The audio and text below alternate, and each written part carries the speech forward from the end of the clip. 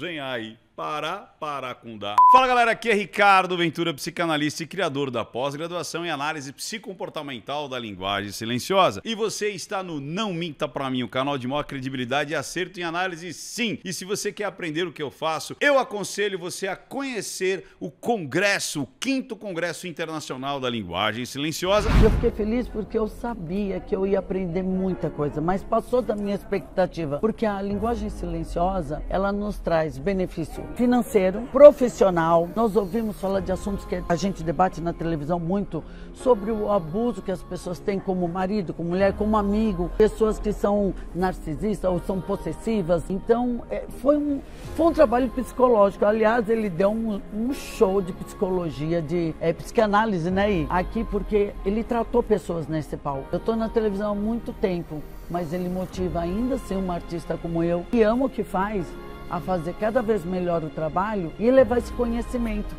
Por isso que muitas vezes no meu trabalho eu falo dele, porque eu sei que ele é esse homem, mas hoje eu tive certeza, eu sabia. Hoje eu tive a certeza da pessoa maravilhosa que é. E esse congresso aqui internacional, esse primeiro encontro, que eu quero vir no segundo, terceiro, quarto, que sai no, no exterior, vai levar muita gente a despertar e melhorar sua vida e seus relacionamentos, porque é isso que a linguagem silenciosa é, melhora de vida e é autoterapêutica. O que vai acontecer aqui em São Paulo, para você saber mais detalhes, inclusive aproveitar os descontos dos primeiros lotes, acesse nãomentapramin.com.br barra evento, beleza? Ou aqui no primeiro link afixado. E hoje vamos analisar quem, quem, quem, quem, quem? Ninguém nós não vamos analisar no sentido restrito da palavra, como aqui a gente costuma fazer no canal, mas eu quero talvez até prestar uma homenagem ao senhor Silvio Santos Cenoura Bravanel, aquele garotinho que nasceu no dia 12 de dezembro de 1930 na região da Lapa, no Rio de Janeiro, o qual eu sempre nutri um grande apreço, um grande, um enorme apreço. Tanto é que em várias análises eu cheguei a falar o quanto que eu gostaria de conhecer conhecer Silvio Santos. Eu tive assim a 5 metros do Silvio Santos em uma das vezes que eu fui lá no SBT gravar. E, cara, foi impressionante, assim, vê-lo e falar assim, cara, o cara existe, né? Ele tá ali. Hã? Tava com cheio de seguranças ali, ele, tipo, ele, ele saía ali de uma portinha, logo próximo ali o carro dele, na época era um acorde preto. Aí ele entrou ali, já era um senhorzinho, você vê que ele desceu devagar, entrou no carro devagar, puxou a porta e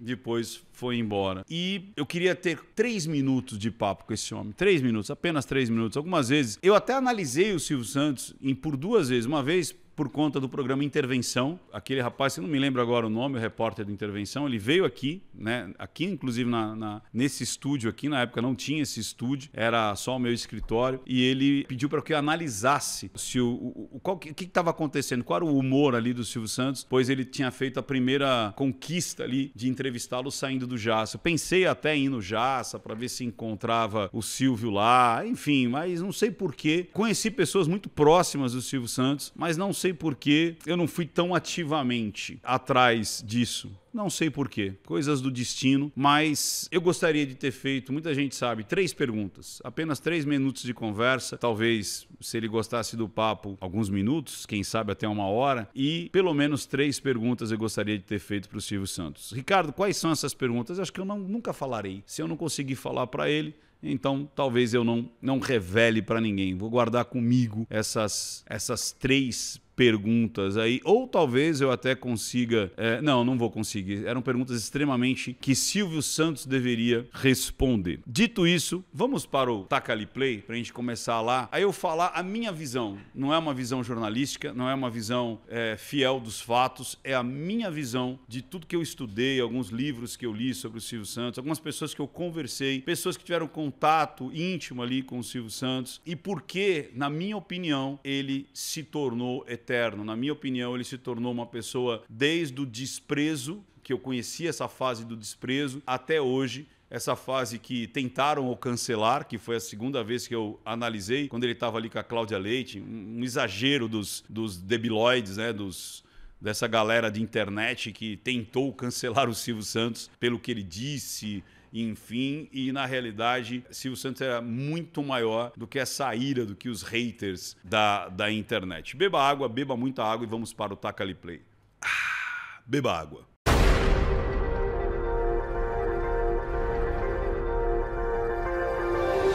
Chegando aqui, pessoal, lembre-se de fazer os quatro passos para que você não perca nenhum vídeo aqui do canal. Se você gosta e quer ser prioridade para o YouTube, primeira coisa, perceba se você está inscrito no canal. Inscreva-se, muitas vezes por falta de atividade, deixando rastros aqui no YouTube, o YouTube tira a tua inscrição. Depois, habilite as notificações, aperte o sininho. Antigamente, somente isso bastava para você ser notificado. Hoje, depois de 1.7 milhões de pessoas seguindo, você precisa ser notado pelo YouTube. Como é que eu faço isso? Dê like nesse vídeo, todos os outros que você você assistir aqui no canal e comente alguma coisa. Feito isso algumas vezes, aí sim você vai ser prioridade para o YouTube. Então vamos lá. Cenoura Bravanel, ele nasceu de pai grego, mãe que veio da Turquia, se conheceram aqui no Brasil, tiveram alguns filhos, acho que foram seis filhos, eu não sei exatamente a quantidade. E ele, se eu não me engano, era o primogênito, né, o Senor Abravanel. E ele, desde muito cedo, percebeu-se que ele era muito hábil, tanto na comunicação quanto na negociação, tanto é que ele se forma como contador, é, ele faz ali, ele termina o colegial e, se eu não me engano, ele, ele prossegue é, ali no, no, no, ensino, que eu acho que um ensino técnico foi o que ele fez. É, ele não fez faculdade, ele não tem outra formação formação acadêmica e ele se forma contador. Mas muito criança e sentindo ali a necessidade das coisas que ele gostaria de consumir, reza a lenda que ele gostava muito de geleia e ele queria né, ter essa, essa geleia aí no café da manhã, ele percebe o camelô que vendia capinhas de para título, que na época estava tendo ali as eleições, as pessoas estavam tirando títulos e tudo mais. As mulheres começaram a votar também e, e, e então tinha mais um, um agregador ali de pessoas pessoas que estavam votando, as mulheres começaram a votar no Brasil, no Brasil em 32. Então, ali, ele com 11 anos, ele começa já a observar isso ali naquela região da Lapa, as pessoas ganhando grana. E ele também, ao mesmo tempo, ele já fazia alguns serviços, por exemplo, de compra e venda. Então, ele comprava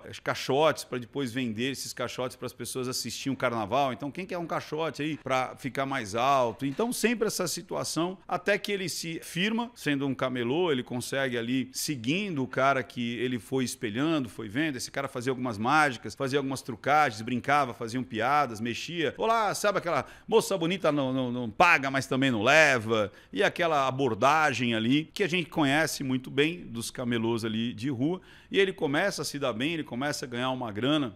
Eu lembro que eu li em algum lugar que em um dia ele ganhava o equivalente a um salário mínimo da época. Então ele ganhava muito dinheiro ali sendo camelô. Até que um rapa, né, um dos policiais ali que faz a varredura, né, que faz o controle, a fiscalização e não deixa as pessoas ali trabalharem sem sem documentação, numa dessas batidas onde ele perde ali todo o seu todo o seu arsenal ali de mercadorias e tudo mais, ele fala: "Olha, sai da rua, né? Vai fazer um teste, aí deu um endereço, os caras estão precisando sempre de locutores, apresentadores, às vezes locutores para fazer propagandas, propagandas comerciais, sabe aquela esse programa é patrocinado pelo Açougue do Bom, Açougue do Bom onde você encontra as melhores carnes e os melhores cortes para você, senhor, para você, senhora, fazer aquele jantar saboroso para a sua família. Enfim, sabe aquelas coisas bem dos anos 40, 50? E ele indica a Rádio Guanabara. E ele começa a fazer as locuções ali na Rádio Guanabara. Nisso daí ele percebe, porque ele tem que fazer, usar, utilizar a barca Rio-Niterói, ele percebe que as pessoas ali é, não têm o que fazer, a, o rádio muitas vezes não funcionava, não pegava ali quando ele estava no meio ali da Bahia da Guanabara. E ele tem uma ideia, ele com um amigo dele, de fazer uma rádio interna, ou seja, botar uns alto-falantes ali e tocar música. E a partir dali, as pessoas iam dançar, iam começar a se mexer, iam ter sede e ele começa a vender refrigerantes e cerveja. E ele se torna um dos maiores distribuidores de cerveja ali de Niterói, Rio de Janeiro. Imagina, um cara sem um bar, sem um ponto comercial específico, ele consegue ter toda essa movimentação. Até que dizem para ele vir para São Paulo, se eu não me engano, o irmão do Manuel de Nóbrega diz: "Ó, oh, vai lá, procura meu irmão, ele trabalha acho que na Rádio Nacional e, e é o Manuel da Nóbrega que tem a, o negócio ali, o proto-negócio, o início do negócio do carnê do baú, que era a situação de você pagar antecipadamente um carnezinho para que no final do ano você retirasse um brinquedo. E aí ele conhece o Manuel da Nóbrega, depois dele conseguir a vaga na rádio nacional, na Rádio Tupi, ele começa a trabalhar nas duas rádios. Alô, meus amigos e minhas amigas do Brasil que estão ouvindo a Rede Nacional de Rádio. Alô, bom dia, dona de casa, muito bom dia. Ele começa a fazer shows ali de segunda a sábado, se eu não me engano, ao vivo, ali no horário do almoço, que é um horário nobre. Então, as pessoas iam lá para assisti-lo. As pessoas, as rádios tinham isso, né? Uma, uma parte da programação você podia assistir e isso também era transmitido ao vivo ali para as rádios. Só que é aí que dá um grande pulo, porque ele fazia as apresentações em circo, ele fazia as apresentações na rádio, ganhava uma graninha aqui, outra ali e tal, ia fazendo seu pé de meia, mas quando ele é convidado para o Manuel da Nóbrega para fechar o baú, olha isso. Por isso que ele teve uma grande, e até hoje, né, ele teve uma grande gratidão pelo pai do Carlos Alberto, né? Sabe o Carlos Alberto de Nóbrega lá da praça? Então o pai dele é que cedeu praticamente, deu para o Silvio Santos o, o baú da felicidade. O que, que era o baú da felicidade? Como eu disse, você pagava ali mensalmente uma grana para depois no final do ano. Então era uma poupança forçada que depois você ia lá e retirava o seu brinquedo, depois ele foi colocando outras coisas. Mas o Manuel da Nóbrega estava com problema ali, as coisas não estavam sendo legais, parecia que tinha um desvio de dinheiro do sócio dele e as pessoas estavam reclamando demais. Ele falou: Silvio, como você é contador, vai lá e, e enterra aquilo ali, né? Eu não quero que que ninguém perca dinheiro, mas vê o que dá para fazer, encerra as atividades e é isso que eu peço para você. Só que daí ele começa a ver, começa a fazer cálculos, ele vê que realmente tinha um desvio, tinha alguma coisa ali que não estava legal e ele acerta o caixa do baú da felicidade. É nessa época é nessa época que ele conhece meu avô, cara. O meu avô trabalhava na Estrela, porque meu avô, na época da. logo no pós-guerra ali, isso que a gente está falando, ele era muito jovenzinho, ele devia estar ali em 1930, 45, 1950, mais ou menos. Então, ali logo no pós-guerra, né? Que a guerra termina em 45, o meu avô era barqueiro no Rio Tietê, né? Ele fazia frete, ele pegava areia, tijolo e tudo mais, principalmente as barcas de areia, e fazia frete também. Ele tem que vender a barca para comer. Exatamente isso. Ele vende o instrumento de trabalho dele para botar dinheiro dentro de casa, para ele sustentar a mulher e as duas filhas, né? minha mãe e minha tia. E ele vai trabalhar de faxineiro na Estrela. E é lá que meu avô conta, e eu lembro disso quando era pequeno, que o Silvio Santos era muito humilhado. É, as pessoas faziam ele esperar o dia inteiro para atender ele. E as pessoas, ih, lá vem esse peru que fala, porque ele ficava muito vermelho, com vergonha. E ele ia lá, é, ele sempre falava com um sapato super velho, mas isso aí também já era, acho que artimanha do Silvio Santos, porque ele já tinha uma grana nessa época. Né? Ele tra trabalhava em duas rádios, estava acertando ali o baú, fazia o, o circo. Não que ele tivesse muito dinheiro, mas ele já tinha uma grana ali. E ele ia negociar brinquedos que eles chamavam de LD, que era leves defeitos. Ou seja, às vezes uma coisinha que não passava no controle de qualidade, mas ele comprava para entregar ali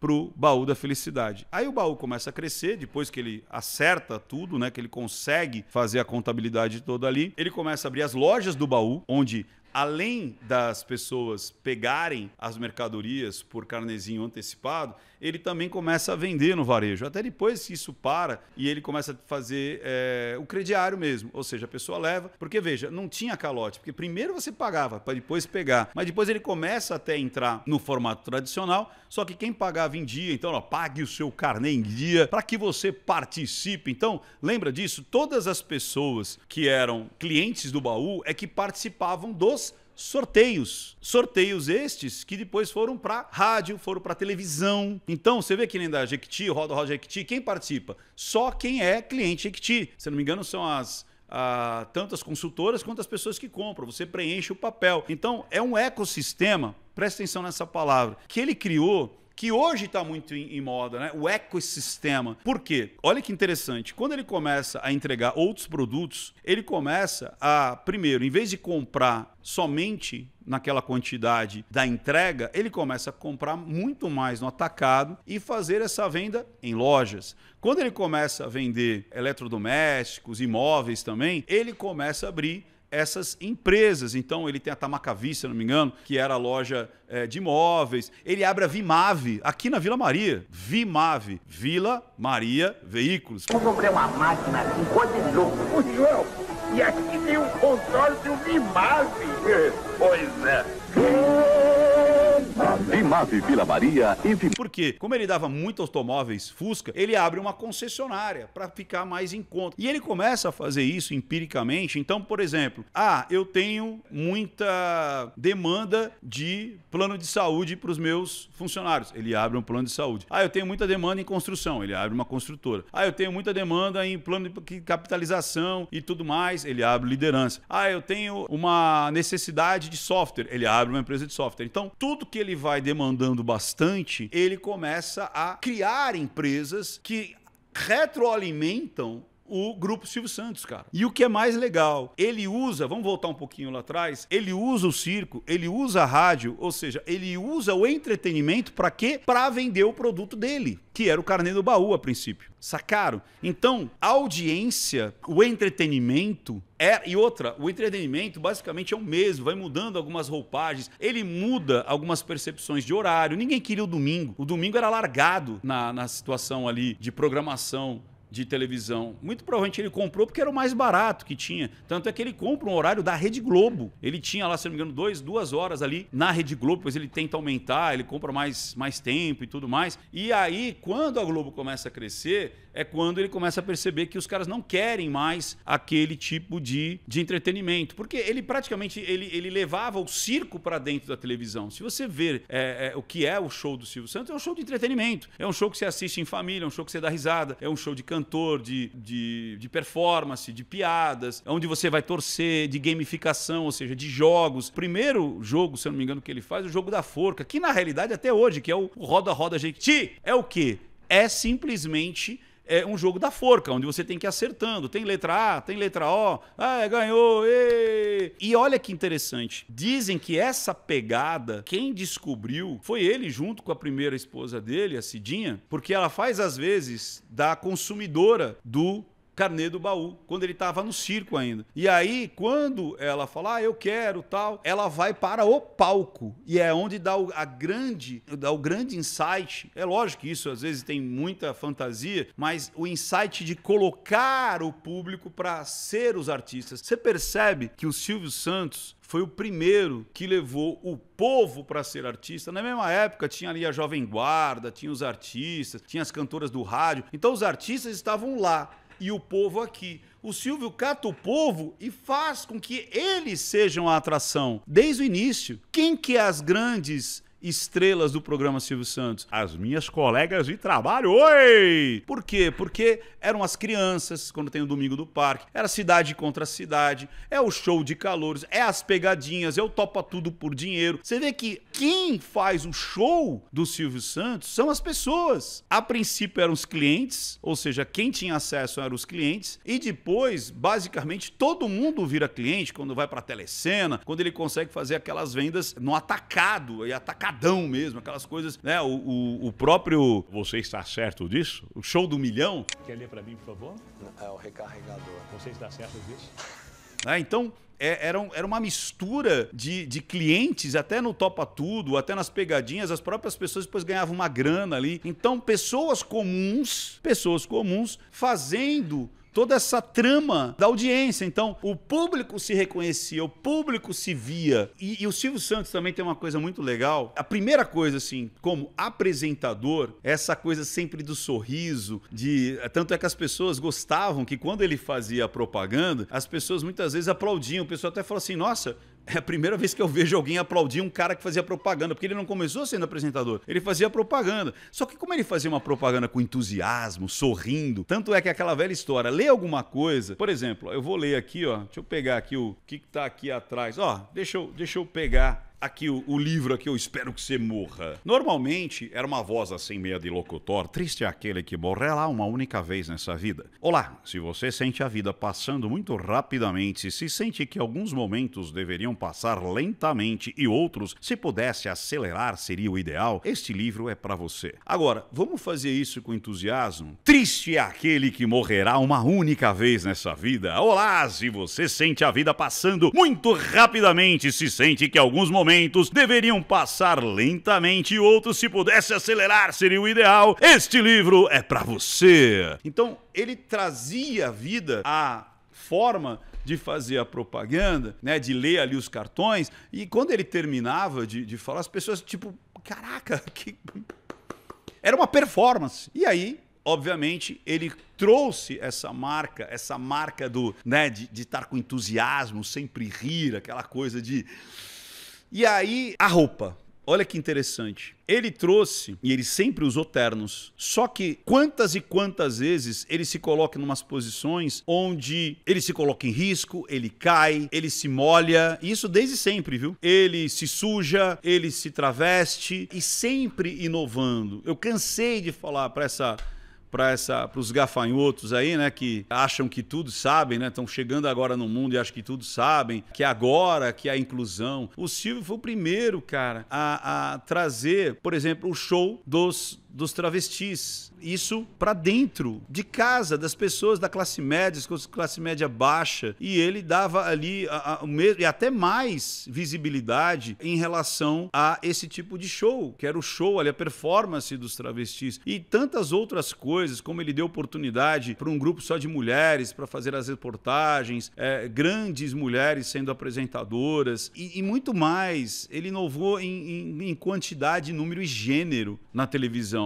Tanto é que você viu Domingo no Parque ou Cidade contra Cidade, não tinha uma distinção de, de cor de pele, não tinha uma distinção de, desse estereótipo ou daquele, era uma grande festa. E as pessoas se identificavam cada vez mais com isso. Até o ponto que os intelectuaizinhos, né, os intelectuaizinhos, eu não vejo isso, não vejo aquilo. Aí os artistinhas da, da platinada esnobavam essa situação populesca. E aí é que começa as grandes críticas. Eu lembro que na década de 70, na década de 80, e era unânime, né? Quando ele pega ali os domingos, o que, que é o domingo? Que antes não tinha nada, quando estamos falando lá para lá trás, tinha uma programação muito, muito pequena, muito fugaz. Ele faz o quê? ele coloca os grandes entretenimentos, ele coloca os grandes shows ali, chegando a ficar às vezes até 8 horas ininterrupto ali, ao vivo no domingo. Então o que é o domingo? Normalmente é o almoço melhor, é o almoço em família, é o almoço da visita. E aí ele está dentro dessa situação. Então, a gente tem até uma memória afetiva, cara. Porque era quando você ia visitar a casa da sua avó e o que estava passando na televisão? Era Silvio Santos. E, e, e pós o almoço? Era Silvio Santos. É, e, e, na hora do café, né? Ali, era Silvio Santos. Então, é, as pessoas tinham uma memória afetiva muito grande em relação ao show do Silvio Santos. Né? E fora isso, é como eu disse, além de ele inovar em quadros, em horários, em comunicação, ou seja, ele se apresentava de terno, mas ele se colocava ali como um popular. Então ele começava com: Olá, Silvio Santos, manda ou não manda? Mas ele se colocava de igual para igual, às vezes ele falava é, e se enganava: O quê? Como é que é? Não, não compreendo. Então quando ele se dava aquele, aquela coisa de não tô entendendo, não tô compreendendo, explica de novo. Não, no duro, no duro, é mesmo? Mas como é que é isso? Explica é que é, é, ele queria que é, ele se fosse mais um participante da, daquela apresentação toda, como ele fosse um, mais um, né? Telespectador. Olá, meus telespectadores. E com as crianças, ele brincava muito com as crianças. Você tá chorando ou tá fingindo que tá chorando? é, ele tinha um, um, uma sensibilidade a vida inteira, né? A vida inteira. O Boa Noite Cinderela, depois ali as gincanas com bebês, até aquela história do bambu, lembra? Ele se sai muito bem no ao vivo, né? Ah, boca suja, boca suja, aí sai pra lá. Qual é a diferença do poste, do bambu e da mulher? Qual é a diferença do poste, do bambu e da mulher? Não, não sei. O poste dá luz em cima, a mulher dá luz embaixo. O poste dá luz em cima, tá certo. A mulher dá luz embaixo. E o bambu?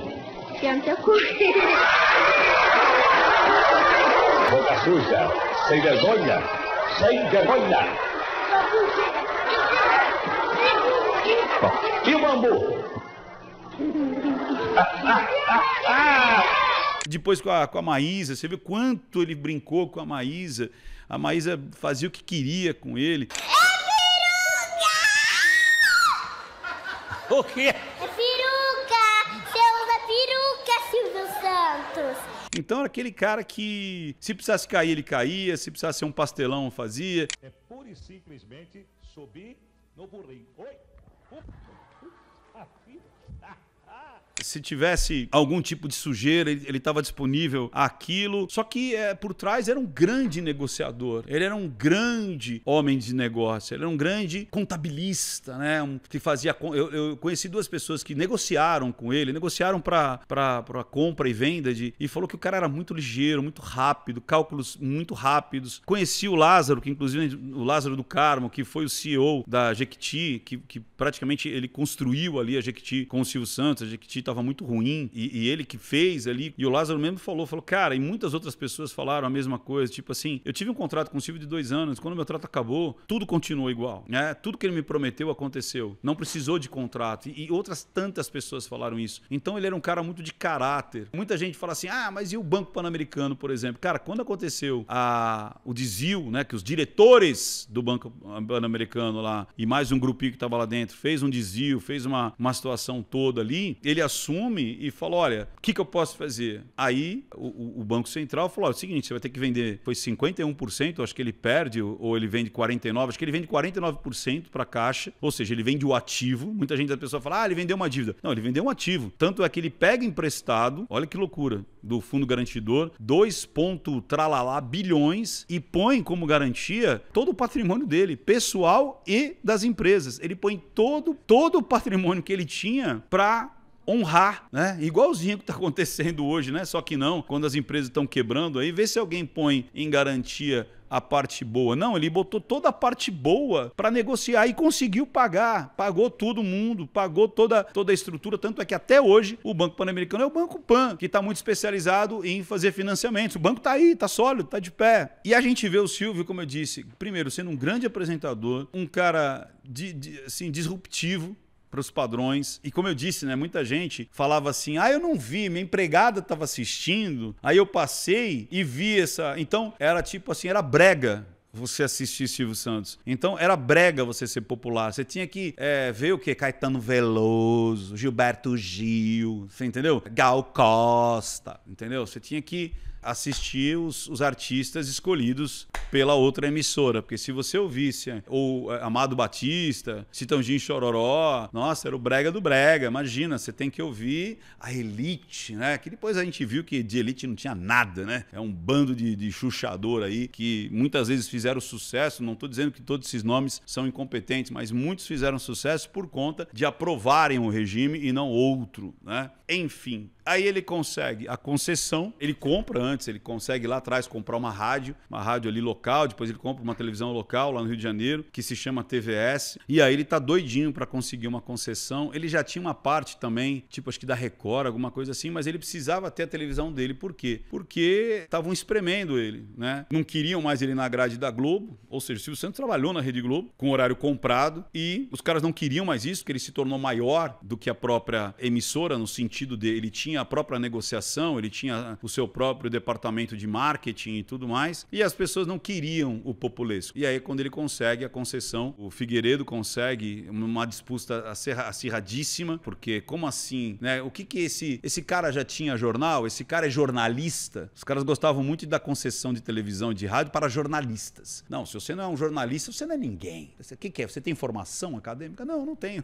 Não, então você não é ninguém. E aí ele consegue essa concessão, abre abre-se ali o, o, a TVS. Eu lembro, eu lembro, eu vi isso, eu vi a TVS nascendo, ele assinando. Tanto é que é, eu lembro que eu falei, cara, vai ter mais um canal de televisão, porque a gente tinha quatro canais, né? Sei lá, era Record, era Manchete, nem lembro se tinha Manchete, mas era muito pouco de canais que tinha. E eu lembro de eu ficar sentado ali, eu cheguei da escola e falei, caraca, vamos ver nascer ali uma televisão, canal 4, canal 4. E aí até que puff, surgiu ali, a primeira transmissão foi justamente ele assinando e inaugurando o, a TVS, que depois vira o Sistema Brasileiro de Televisão. E, como eu disse, né, um cara, além de um grande comunicador, um grande empresário, e a cada vez a gente sabia que ele cumpria ali com os seus deveres, ele foi um dos maiores pagadores de imposto de renda pessoa física, ele, ele sempre honrou os compromissos, compromissos, seus compromissos fiscais, imagina isso, ele era o maior é, é, pagador de imposto de renda e de pessoa física no Brasil, eu lembro que eram alguns milhões ali por ano, eram muitos milhões e milhões e milhões por ano ano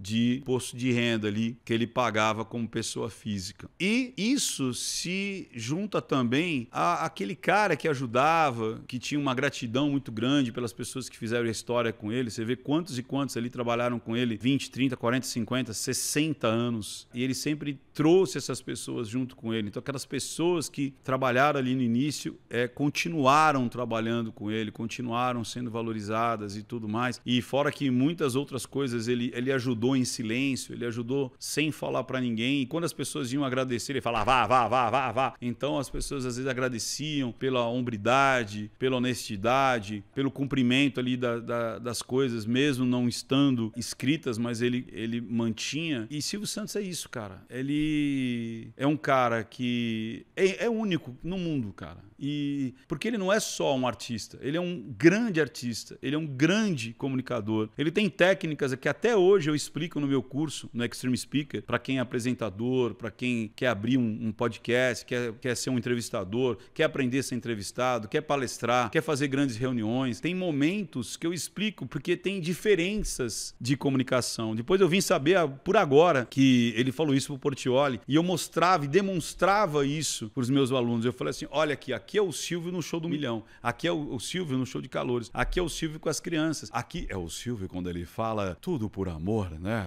Namoro na TV. Então a tonalidade mudava um pouco o olhar, até o movimento corporal do Silvio mudava de acordo com o que ele estava apresentando. E eu falo isso muito para as pessoas. Às vezes são coisas sutis. Dependendo do que você está apresentando, você tem tonalidades diferentes, ritmos diferentes, palavreados diferentes, enfim, o que, que você quer atingir. Então, então, os podcasts, muitas vezes as pessoas já notaram isso em mim. Dependendo do podcast que eu tô, eu tenho uma diferença em roupa, eu tenho uma diferença em vocalização, eu tenho uma diferença em como eu vou me portar. Só que ele era um gênio, cara. Ele era uma. É, é tipo assim, se fosse assim, olha o que ele tá fazendo. Né? Muitas vezes eu, eu, eu, eu assistindo, eu falo pra minha esposa: olha o que ele vai fazer, olha o que ele tá fazendo. Olha a situação, olha a provocação, olha como ele tá tentando tirar mais essa pessoa. Olha como agora ele, ele, ele a pessoa tá bajulando demais, tá elogiando demais, ele já começa a colocar de lado ali, começa a tirar. E um grande empresário empresário, um cara que construiu um império, que já criou aquele, como eu disse, o conceito de ecossistema, de você ter várias empresas que, que são lucrativas, que são importantes, mas que auto sustenta o grande grupo e também acaba sendo lucrativa porque ela também vai é, vender para fora, não vender só para dentro do próprio grupo, mas também vender para fora. E quando você junta tudo isso numa pessoa só, é muito difícil, cara, você encontrar. Eu, eu desconheço no mundo alguém que, que é o apresentador, que é o dono da emissora. Então, você está entendendo? é o apresentador, é o dono da emissora, é o empresário, é o que inova, é o que cria, é o criador,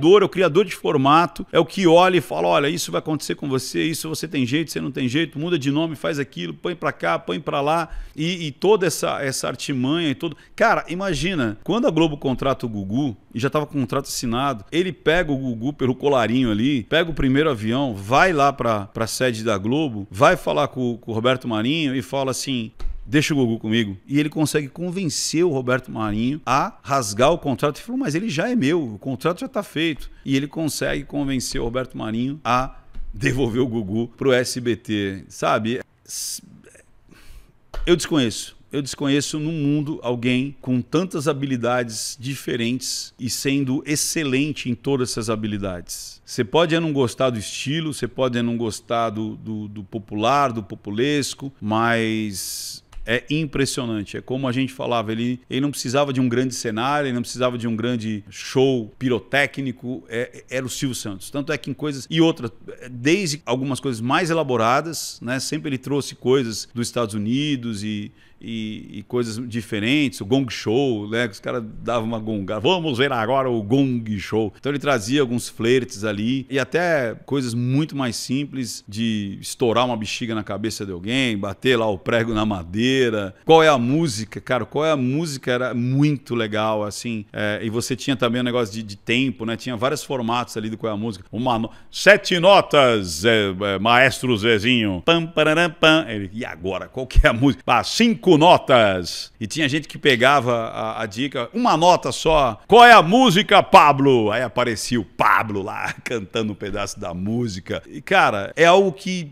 eu duvido que surgirá alguém tão completo como o Silvio Santos. Então, essa aqui é a minha homenagem a um dos grandes comunicadores, o maior comunicador da TV brasileira, que se você juntar isso com todas as outras habilidades que ele tinha de empresário, de visão de futuro, é, de negociador, não tem igual, não tem igual. De inovação, de percepção, de antecipação, não tem igual, não tem igual. Viveu bastante, né? Viveu com quase 94 94 anos, ia fazer 94 anos agora em dezembro. Morreu com 93 e, e 8 meses, né? Porque mais um pouquinho ele fazia 94 anos, então até isso ele foi generoso com a gente, viveu bastante para que a gente tivesse bastante é, Silvio Santos nesse mundo, nesse universo. Então a gente teve uma, uma overdose aí de, de Silvio Santos e com certeza, tenho certeza que virão aí muitos documentários e livros, porque é infinito a quantidade de, de histórias que Silvio Santos tem. Tomara que a gente fique sabendo um pouquinho de outras histórias, outros feitos e outras conquistas do Senor Abravanel. Esse aqui é a minha homenagem, uma pequena homenagem àquele homem que eu vi com os meus próprios olhos, a poucos metros de mim, mas mas não consegui realizar meu sonho de conversar com ele pelo menos cinco minutinhos e fazer três perguntas para essa esse imortal que agora é um, é um imortal, né? É estranho que parece que ele não, não, não morreu, né? Parece que em algum momento ele vai falar assim, haha, oi, eu tô aqui e vai aparecer cantando e girando. Vem pra cá, vem pra cá, cantando e girando. E é isso. E se você quer aprender um pouquinho mais sobre uma comunicação que é essa comunicação não verbal, essa comunicação silenciosa. Eu te convido para você ver o mundo com outros olhos, para você às vezes perceber essas nuances que às vezes a gente percebe dos grandes comunicadores, ou até o contrário, de você aprender e também se proteger dos salafrários, se proteger dos canalhas, dos agentes abusadores, dos relacionamentos tóxicos, Aprenda a linguagem silenciosa e você pode fazer isso um dia inteiro comigo no congresso. É o seu primeiro passo. É lá que você vai ter o primeiro contato e a partir dali você vai falar: "Puxa, quero mais disso. Gostei do que eu vi aqui, quero continuar". Eu vou falar: "E é viciante, viu? É viciante". Então, acesse não mim.com.br/barra evento ou aqui no primeiro comentário fixado. Beleza? Silvio Santos Shalom, que você esteja num bom lugar, que você esteja recebendo de alguma forma esse carinho, essas homenagens, esse respeito de tanta riqueza que você criou, de tantas empresas, tantos empregos, tanta é, bonança, tanto transbordo que você fez na vida de milhões de pessoas. Milhões, você atingiu milhões e milhões de pessoas, trazendo não só riqueza, como esperança, como riso, como divertimento, mas principalmente esse grande homem que atingiu todas as esferas, as esferas do entretenimento, as esferas da riqueza, as esferas do transbordo, as esferas altruístas, né, como a, o Teleton, enfim, é um empresário, é um homem realmente completo. Teve falhas, claro, como todo, todas as pessoas têm falhas. Teve alguns erros, muito provavelmente teve muitos erros, mas eu vou te falar, tá para nascer um homem tão completo em todos os aspectos da vida. Realmente é muito difícil. Não minta para mim, porque senão eu descubro até mais pessoal. Tchau, tchau, tchau, tchau, tchau, tchau.